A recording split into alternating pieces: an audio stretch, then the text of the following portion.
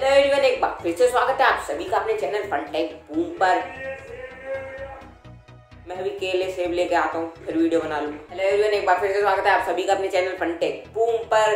तो यार, आप जानते ही हो कि आज है सैटरडे और हमारे सैटरडे को लेके आते हैं अपने weekly top tech update series की एक और नई वीडियो जिसमें आपको काफ़ी सारे स्मार्टफ़ोन आने वाले स्मार्टफ़ोन के लीक्स र्यूमर्स और जितने भी टेक अपडेट निकल के आए हैं पिछले हफ़्ते से इस हफ़्ते तक, वो सब सुनने को मिलते हैं। तो अगर आपका टेक में थोड़ा बहुत भी इंटरेस्ट है तो आज की वीडियो बहुत ही कमाल की होने वाली है। इस वीडियो को एंड तक देख लेना। लेकिन उससे पहले दोस्तों जल्दी से चैनल को सब्सक्राइब करके बेल आइकन को दबा दो आपको हमारे वीडियो नोटिफिकेशन सबसे जल्दी मिल जाएँगे। तो शुरू करते हैं आज के धमाकेदार टेक अपडेट तो पहला अपडेट निकल के आ रहा है वन प्लस की तरफ़ से वन प्लस एट टी जो अभी थोड़ी टाइम पहले लॉन्च हुआ था, उसकी वीडियो भी मैं बना सकता हूँ आई बटन में मिल जाएगी। उसका एक स्पेशल एडिशन लॉन्च होने वाला है OnePlus eight T Cyberpunk two zero double seven दो नवंबर को लॉन्च होना है, पर ये अभी इंडिया में लॉन्च होने नहीं वाला है। आप बताना कि आप चाहते हो ये फ़ोन इंडिया में आए, और ये भी बताना कि आपको ये लिमिटेड एडिशन जो फ़ोन आते हैं, मैं बताऊँ तो यार मेरे को कई बार अच्छे लगते हैं, पर कई बार डिज़ाइन बहुत बिगड़ सा जाता है। कई कई अच्छे लगते हैं कई कई नहीं लगते, पर ये काफ़ी अच्छा लग रहा है। इंडिया में आ जाएगा तो काफ़ी अच्छी बात होगी, अगर ज़्यादा प्राइसिंग ना बढ़ाए वन सेफ्टी की। तो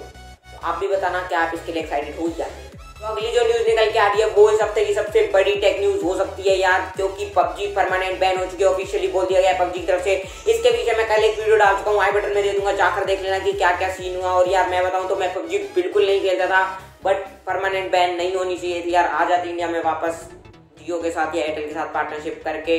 बट जो हुआ, कोई बात नहीं फोर जी आएगी फोर जी खेलेंगे हम लोग। बात करें अगली टेक न्यूज़ को लेके तो यार, अगली टेक न्यूज़ शोमी की तरफ़ से एक लीक निकल के आ रहा है। शोमी की नोटबुक एक और नई लॉन्च हो सकती है आई थ्री के साथ मतलब तीस हज़ार के अंदर अंदर हो सकती है। और इसके अंदर इंटीग्रेटेड वेबकैम आपको देखने को मिलेगा, जो पहले के लैपटॉप आए थे ना नोटबुक आई थी एम आई की, मेरे हिसाब से प्रोफेशनल वर्क के लिए काफ़ी अच्छी थी, पर यार, उसमें काफ़ी कंप्लेन आ रही थी सॉफ्टवेयर को लेके, काफ़ी सारे आप रिव्यूज़ पढ़ना, बहुत लोग उसको कंप्लेन कर रहे थे कि इसमें ये चीज़ अच्छी नहीं है, ये चीज़ अच्छी नहीं है, बस हार्डवेयर अच्छा है। अब देखते हैं शोमी इस चीज़ को सुधार पाएगा या नहीं? बात करें अगली टेक न्यूज़ को लेके तो वीवो की तरफ़ से निकल के आ रही है यार। वीवो ने जो फ्रंट टच ओएस अपने फ़ोन में यूज़ करता था, वो अब हट जाएगा। उसकी जगह एक वीवो नया ओएस लाने वाला ओरिजिन ओएस अब पता नहीं वीवो ऐसा क्यों कर रहा है, क्योंकि फ्रंट टच ओएस बहुत अच्छा था। मेरे को तो काफ़ी कमाल का लगता था, लेकिन डिसीज़न लिया तो कुछ सोच के लिया होगा, शायद ओरिजिन ओएस उससे भी कुछ अपग्रेड एक कदम आगे निकले। बात करें अगली टेक न्यूज़ को लेकर तो यार, एक सब्सक्राइबर को शाउट आउट देना चाहूँगा प्रो युगल अगर भाई आप ये वीडियो यहाँ तक देख रहे हो तो कमेंट कर देना, मैं आपकी कमेंट को पिन कर दूँगा, जाकर उनका चैनल चेक करो। काफ़ी कमाल की गेमिंग वीडियो डालते हैं। और ये भी टेक न्यूज़ निकल के आ है यार। हमारे चैनल पर चल रहा है एक स्मार्ट वॉच का गिव अवे जो कि नोइस की तरफ़ से आती है। एक ब्रांडेड स्मार्ट वॉच है मतलब ओरिजिनल है। ढाई से तीन हज़ार रुपए की उसकी कीमत है। गिव अवे में पार्टिसिपेट करने के लिए आप वीडियो देख लेना। काफ़ी कमाल की स्मार्ट वॉच है। उसकी अनबॉक्सिंग भी करिए एक एक फीचर भी बताया कि क्या क्या आप उसमें यूज़ कर सकते हो। अगर आप लेना चाहते हो तो उसको भी देख सकते हो वीडियो को। और गिव अवे में पार्टिसिपेट करना चाहते हो तो भी उसकी वीडियो को देख सकते हो।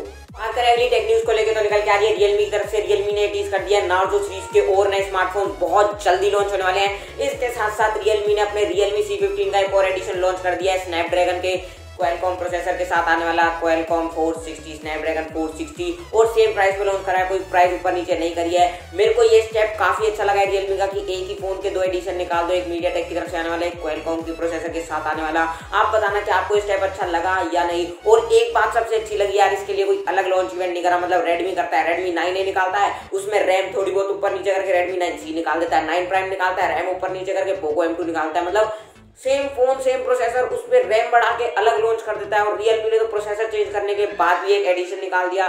तो रेडमी को शायद रियलमी से ये चीज़ सीखनी चाहिए। बात करते हैं अगली टेक न्यूज़ को लेके माइक्रोमैक्स इन आपको तो पता ही होगा, नवंबर तीन को लॉन्च होने वाले हैं एक made in India smartphone out करे चीनी कम। दो फ़ोन लॉन्च होने वाले हैं माइक्रोमैक्स इन वन और वन ए इनकी फ़र्स्ट लुक निकल के आ गई है। बैक पैनल तो काफ़ी कमाल का लग रहा है। यार इसमें प्रोसेसर भी Helio G eighty five G thirty five होने वाला है प्राइस सेवन भी मेरे हिसाब से अच्छा होना चाहिए। बस माइक्रोमैक्स से ये कहना चाहूँगा यार चाहे सौ दो सौ ज़्यादा ले ले पाँच सौ ज़्यादा ले ले दो सौ ज़्यादा ले ले लेकिन भाई पाँच सौ ज़्यादा ले ले लेकिन फ़ोन एकदम लल्लन टॉप होना चाहिए। वैसे अगर अभी तक आपने ये वीडियो नहीं देखी है कि नवंबर में कौन कौन से स्मार्टफ़ोन लॉन्च हो सकते हैं नए तो मैं वीडियो बना चुका हूँ आई बटन में दे दूँगा जाकर देख सकते हो इस वीडियो को देखने के बाद। बात करें अगली टेक न्यूज़ को लेकर वन प्लस की तरफ़ से निकल के आ रही है। वन प्लस की वॉच जिसके लिए काफ़ी हाइप बनी हुई थी कि कितने की आएगी, क्या प्राइस के हिसाब से आएगी।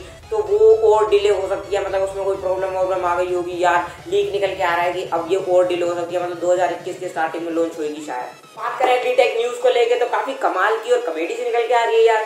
एप्पल आईफोन 12 आपको तो पता होगा कि भाई कैसा फ़ोन लॉन्च हुआ था। फ़ोन बहुत कमाल का है, लेकिन प्राइस सेगमेंट और चार्जर नहीं दे रहा है। उसको लेके एक इशू निकल के आ रहा है। लोग कंप्लेन कर रहे हैं कि भाई इससे ये इशू आ रहा है कि जो आईफोन की एजेस है ना पिछली बार कर्व थी इस बार रेक्टेंगुलर सी दी है तो उससे इंजरी हो रही है लोगों को हाथ पे चोट लग रही है कट लग रहे हैं। हालाँकि देखो मेरे को भी लग गया था आईफोन 12 से इसलिए मैंने अनबॉक्सिंग नहीं करी नहीं तो बॉक्स तो मेरे साथ में ही पड़ा। है अबे साले कभी बात करें अगली न्यूज़ को लेके तो यार बहुत अच्छी निकल के नहीं आ रही है।